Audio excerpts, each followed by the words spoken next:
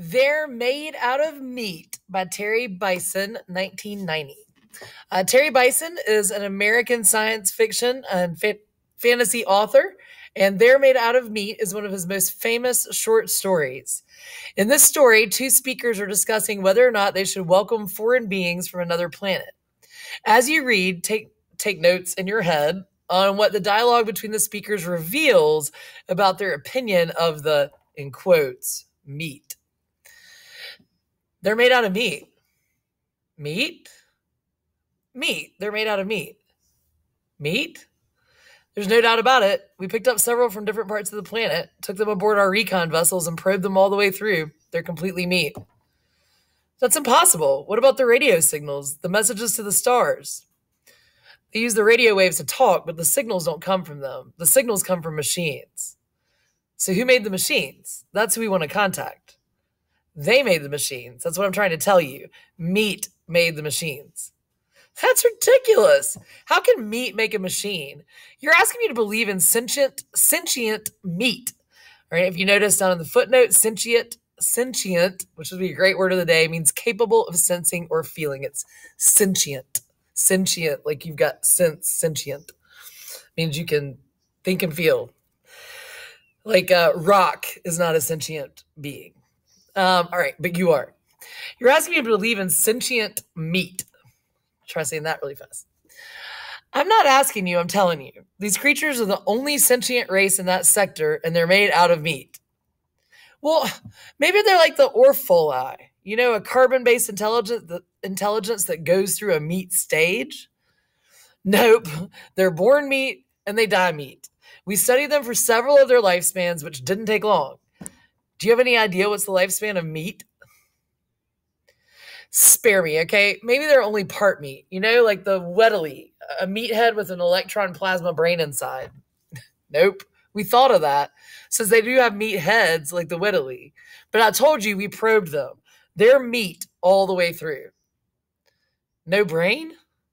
Oh, there's a brain, all right. It's just that the brain is made out of meat. That's what I've been trying to tell you. So, what does the thinking? You're not understanding, are you? You're refusing to deal with what I'm telling you. The brain does the thinking, the meat.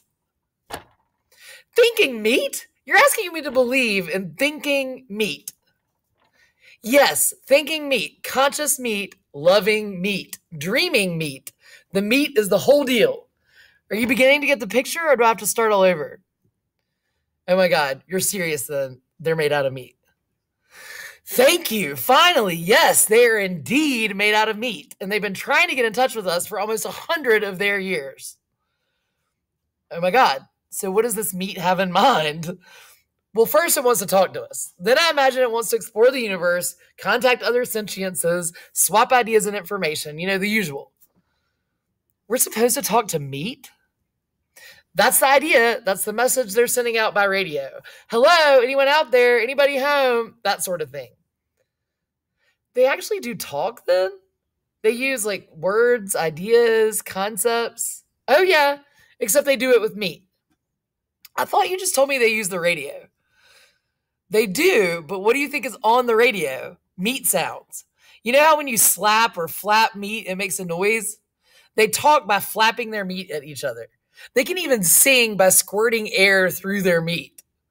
Oh my God, singing meat? This is altogether too much. So, what do you advise? Officially or unofficially? Well, both.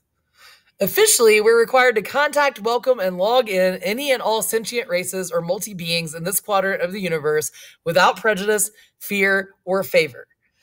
Unofficially, I advise that we erase the records and forget this whole thing. I was hoping you would say that. I mean, it seems harsh, but there is a limit. Do we really want to make contact with meat? I agree 100%. What's there to say? Hello, meat. How's it going? But will this work? How many planets are we dealing with here?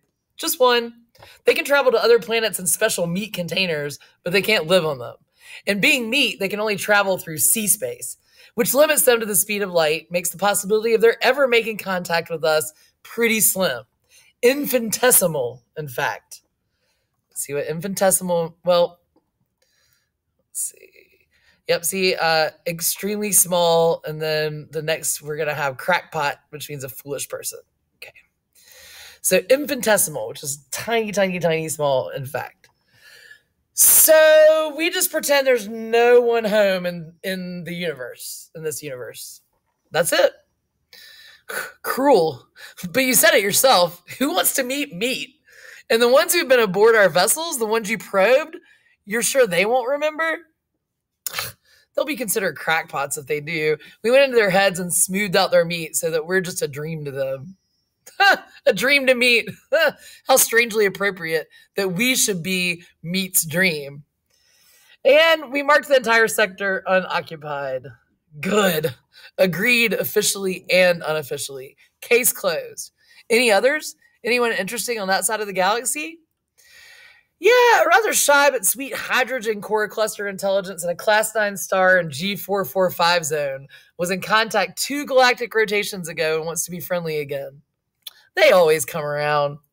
And why not? Imagine how unbearably, how unutterably cold the universe would be if one were all alone.